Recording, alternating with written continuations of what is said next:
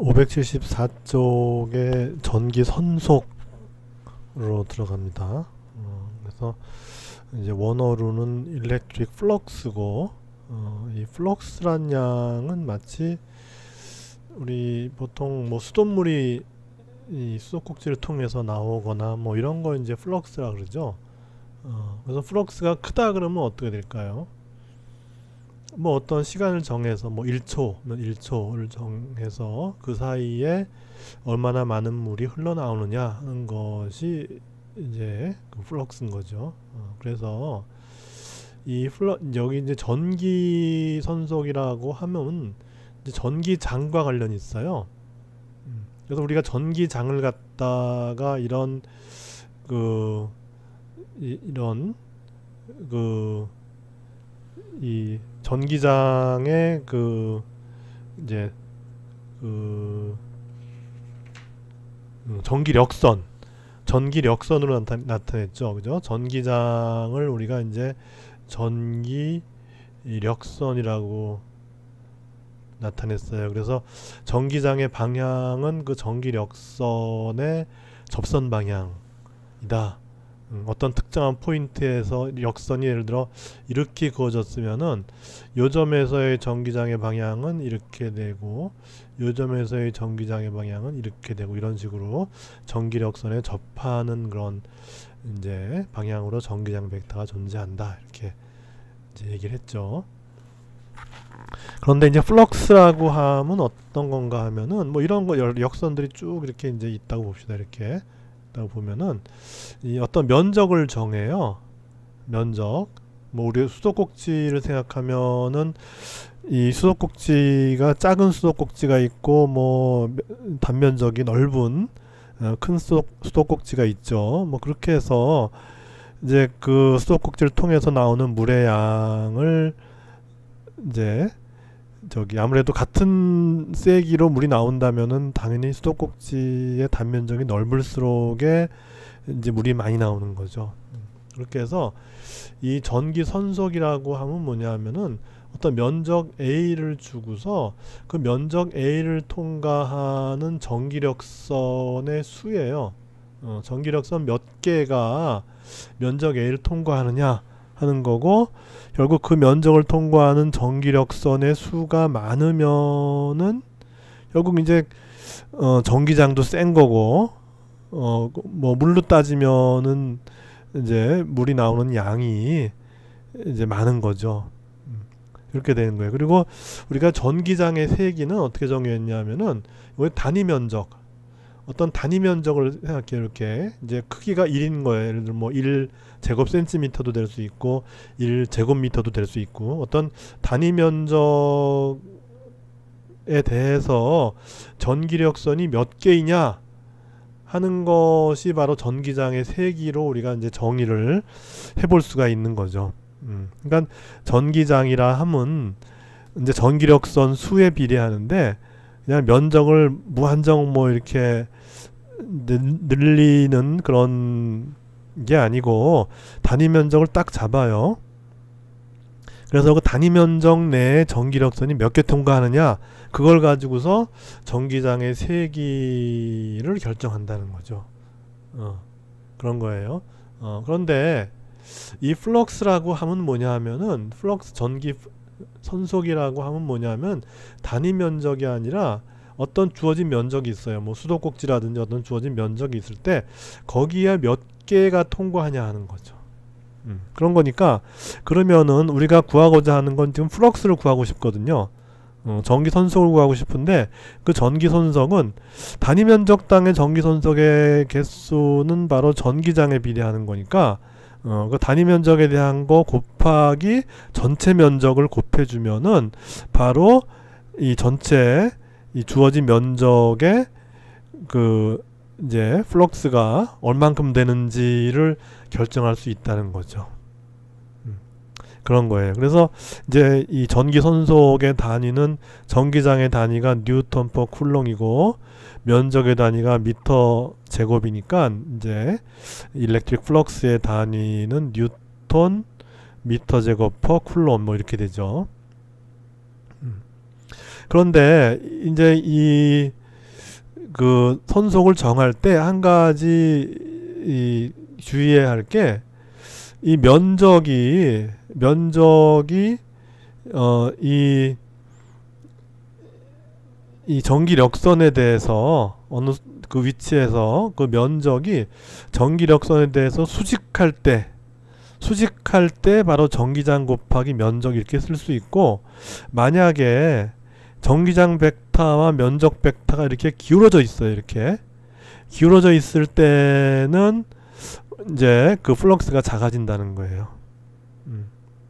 그러니까 이게 비스듬히 가면 아무리 면적이 넓더라도 통과하는 양이 작게 되죠. 어, 그렇게 해서 결국 어떻게 정의하냐 하면은 그 전기장하고 전기장하고 이 그 전기장이 이제 이런 면적을 통과하죠. 전기장이 이런 면적을 통과하는데 이 전기장에 대해서 이 면이 수직해야 돼요. 어, 다시 말해서 요 A의 수직이란 표시는 뭐냐 하면은 전기장에 대해서 수직한 면적이 되는 거예요.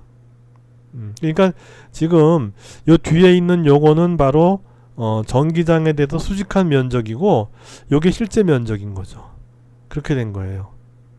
음. 그래서 그래서 이제 이거는 이제 그러면 요 이제 그걸 어떻게 이제 요 수직한 면적을 어떻게 결정하느냐? 이제 면적 벡터가 있죠. 면적 아 면적이 있죠. 면적이 면적이 있으면은 이 면적의 수직한 방향을 잡아요. 그러니까 요 방향은 바로 뭐냐 하면은 요 면적이 있는 평면 있죠. 평면의 수직한 방향이에요. 음, 그러니까 요 평면 어, 전기장이 통과하는 평면의 수직한 방향이 바로 이 법선 방향인 거예요. 음. 그래서 면의 수직한 방향 다시 말해서 여기서 보면 면의 수직한 방향은 바로 전기장의 방향과 같은 거죠. 그죠? 면이 이렇게 돼 있으니까 이 면의 수직한 방향은 이렇게 돼서 전기장 방향과 똑같은 거죠. 어, 그럴 때는 flux는 전기장의 세기 곱하기 면적 해주면 돼요. 어, 이런 경우죠, 바로. 어, 그래서 이 이제 이 면의 수직한 방향과 전기장 벡터가 이루는 각도를 세타라 그랬을 때 이 flux는 어떻게 되냐면은 이 전기장 곱하기 요 면 중에서 요 면 면 중에서 이 면 이 면의 수직한 방향이 어? 요 면의 수직한 방향이 전기장과 이루는 각도가 있죠. 그 각도의 코사인을 취한 거. 어, 그것이 바로 전기장의 수직한 면적 성분이 되고 어, 이제 flux는 바로 전기장 곱하기 전기장의 수직한 면적 성분이 되는 거예요.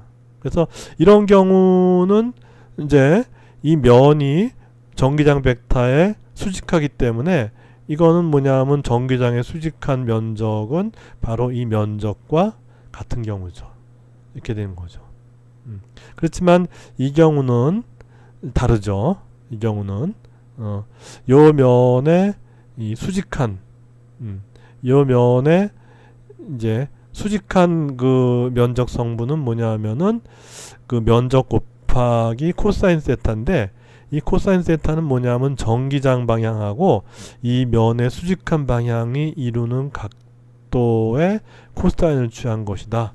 이렇게 되는 거죠. 그래서 바로 이제 이 뒤에 이거죠, 이거. 그래서 이제 실제로 이제 요, 요 수직한 면적을 통과하는 플럭스는 어, 이와 같이 면적이 이 전기장 벡터에 대해서 이렇게 수직이 아닌 기울어진 경우에는 요 그 면적의 그 수직 방향과 전기장이 이루는 방향의 코사인만큼으로 이제 그 면적의 효과가 줄어든다 이제 그런 것이죠.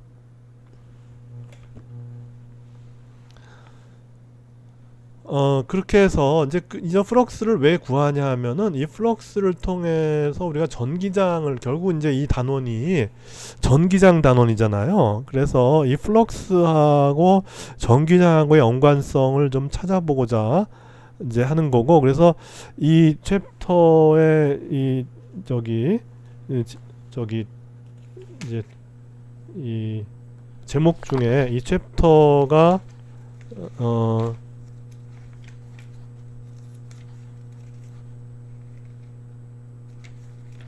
이 챕터의 제목이 연속적인 전화분포 앞에서 했죠. 어 그리고 가우스 법칙이에요. 어 근데 이제 가우스 법칙 을 얘기하기 위해서는 이 전기 선속을 얘기해야 된다. 어, 왜냐하면 가우스 법칙이라고 하는 거는 결국 이 전기장하고 전기 선속 사이의 그 관계를 어 이제 알아보는 이제 그런 이론이기 때문에 어, 이제 이 선속에 대해서 얘기를 했어야 되는 거죠. 음.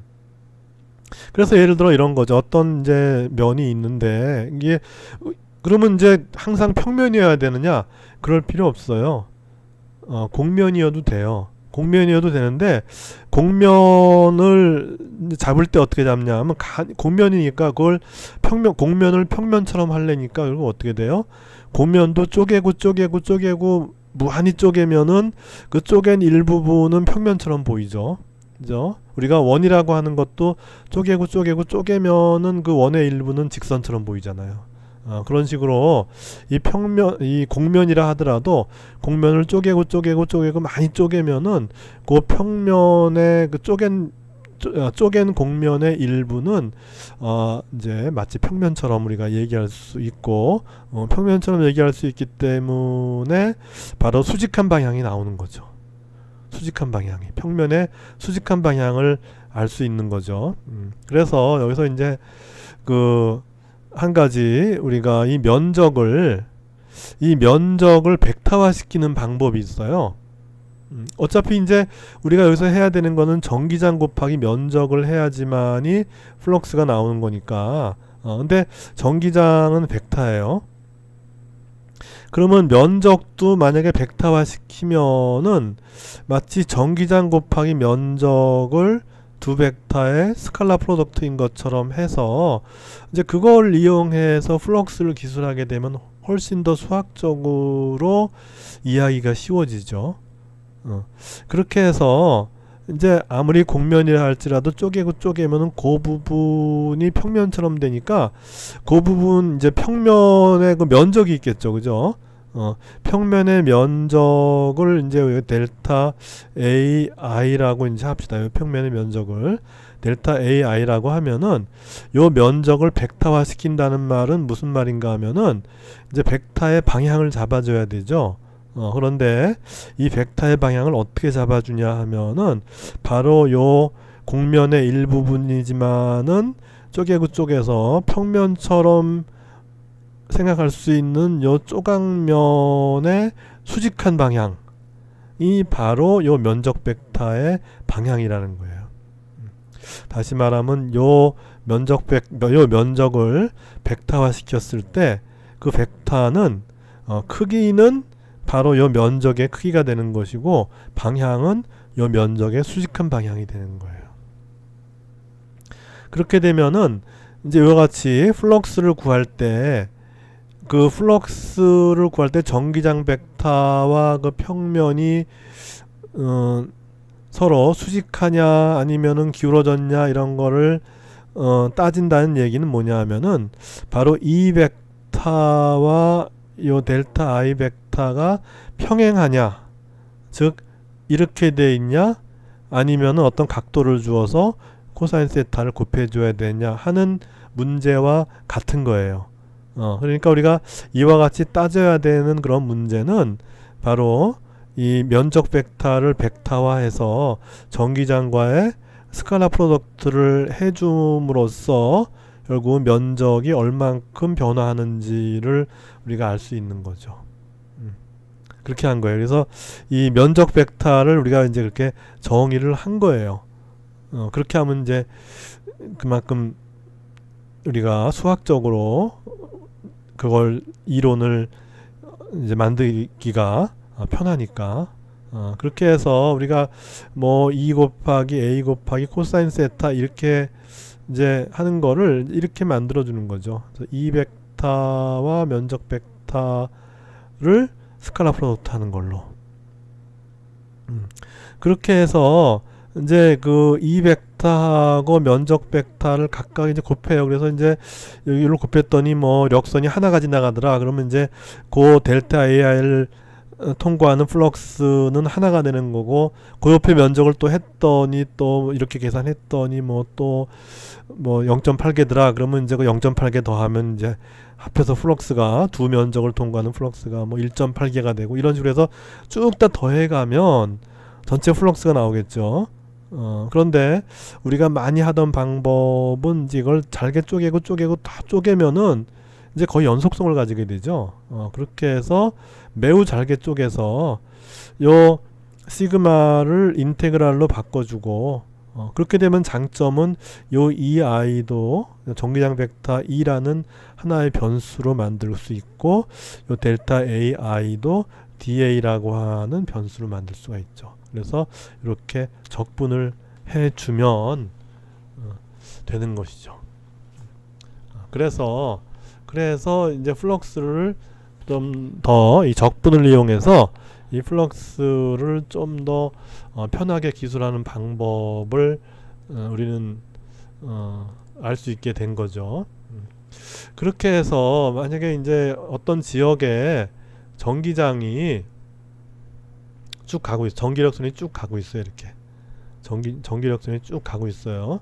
어, 가고 있는데 이제 맨 처음에 시작할 때는 평면만 생각했는데 이제는 곡면을 해도 된다 그랬죠. 어, 곡면을 잘게 쪼개면 된다 그랬죠 이렇게.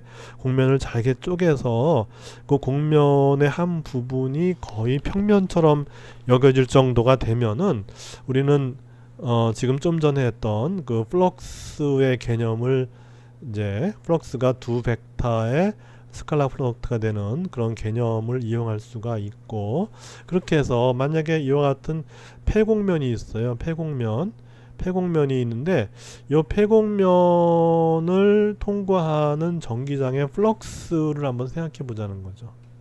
음. 그러면 이제 아까는 좀 전에는 어, 평면이 이렇게 하나 있으면은 좀 전과의 차이는 뭐냐면 평면이 하나가 이렇게 있으면 요 평면상의 점에서 이제 통과하는 플럭스 평면상의 점에서 통과하는 플럭스 평면상의 점에서 통과하는 플럭스 이렇게 해서 요 면에 대해서 모든 플럭스가 어떻게 있느냐만 생각하면 되는데 이제는 요 앞쪽에 있는 면에서의 플럭스는 요 점에서의 전기장을 생각해야 되고 요 뒷면에 있는 점에서의 플럭스는 요 뒷면에서의 전기장을 생각해야 돼요. 음. 근데 전기장이 요점에서의 전기장과 요점에서의 전기장은 다를 수가 있잖아요. 어, 예를 들어 여기 점전화가 이쪽에 있다 그러면 점전화로부터의 전기장은 거리 제곱에 반비례하니까 요 앞쪽은 거리가 짧으니까 전기장이 클 것이고 이 뒤쪽은 거리가 머니까는 전기장이 작을 거예요. 음. 그러니까 이제는 아까는 요 한 지점이니까 여기서 뭐 이제 뭐 이제 같은 거의 같은 지점 이제 중심으로부터 이 전기장을 이제 우리가 계산할 때그 거리 r을 따지는 이제 그 중심점으로부터의 거리가 세 개가 다 비슷하기 때문에 전기장이 그렇게 크게 차이가 이제 안 날 수가 있는데 이와 같이 이런 이제 폐곡면이 되면은 폐곡면의 앞부분과 뒷부분에서 전기장이 차이가 날 수도 있어요. 그죠? 어, 근데 어 이제 그것도 있고 또 하나는 그러면 이제 여기서 전기장의 플럭스를 한번 이제 계산을 해 보는데 예를 들어서 이제 여기를 봅시다. 여기. 여기를 보면은 면적 벡터의 방향은 여기서 이제 여기 1번. 면적 벡터의 방향은 대강 이쪽 방향이다 이거죠. 이거 이거. 이 방향이에요. 근데 전기장 방향은 여기에요. 여기라서 이 둘 사이가 예각을 만들어요. 어, 그러면 이제 여기 E 곱하기 델타 A1 곱하기 코사인 세타 하면은 이게 예각이기 때문에 요 플럭스는 양의 값을 가져요. 그죠? 어, 요 면적 1에 대한 이제 이 전기 선속은 이제 플러스 값을 가져요. 음.